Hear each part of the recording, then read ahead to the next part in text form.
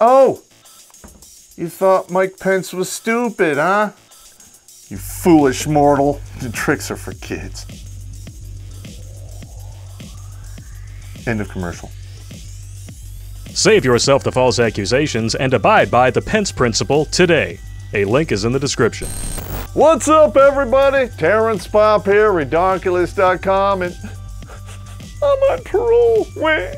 Until the two strikes we have against this channel drop off, it is simply just not safe to post full episodes here. Because when your videos have been manually reviewed and are cleared for all advertisers, you can still get a strike for hate speech. Who knew? So if you want to see our episodes, we're going to put previews here with links in the description. And today's episode, and women already know this, dating over 40 sucks. Not that I would know anything about this. So look, Space Ghost is on. Let's just say you're standing in line for an open bar and you're looking forward to doing some power two-fisted drinking. You're standing in this line for what seems like an hour, watching everyone in front of you wet their whistles for free. You finally make it up to the bar. You're like, all right,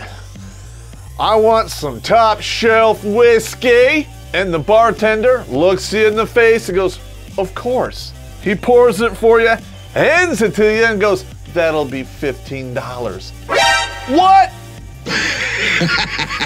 you look at the bartender and go, What's going on here? Everyone and their mother in front of me got their shit for free. So he says, Well, now we know what we're worth. So fork over $15, please. Okay, we have to go with a big off. You spend all your best years giving away all that premium booze. Sooner or later, you run out of stock, and people are not going to pay Patron prices for well liquor. The only thing you have left under that bar is Soldier's Choice, and you can't even give that away. That shit is so bottom of the barrel, it drilled a hole through the bottom of the barrel, under the floorboards, and is now butt fucking the plague rats. No one's drinking that booze, let alone pay full retail prices for a bottle you're gonna take home. And by the time you're 40, what you're selling is already curdled with everyone else's mixers, if you know what I mean.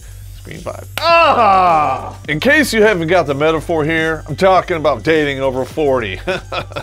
Not that I know about that or anything else, Space Ghost. The woman who wrote this article for men is named Sandy Weiner. Sandy Wiener, more like sand in your vagina, screen five. a dude walks up to you and says, Hey, my name is Harold Richards, and I'm running this team building exercise. Would you take him serious? I'd be that dude in the background, like, Hey, uh, Sergeant Popp here. So your name is uh, Harry Good luck with that.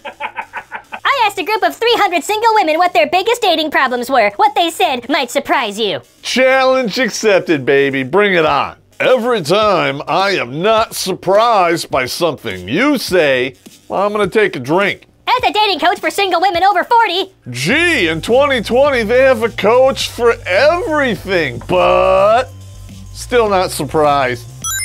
If you want to watch the entire episode with the original title card, links in the description. We might be out of YouTube jail, but we are still on parole. One more community guidelines strike in the next 90 days could terminate this channel for good. So be sure to follow our alternate channels in the description for complete episodes and stay tuned for Grunt Speak Live every Thursday night at 8:30 p.m. Eastern right here on youtube.com/redonkulaspopp.